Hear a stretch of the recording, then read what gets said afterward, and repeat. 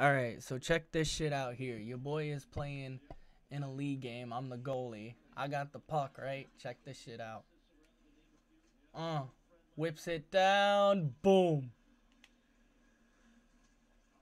Look at this shit.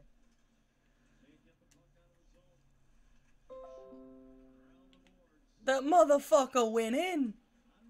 What? Get it from like an overhead view.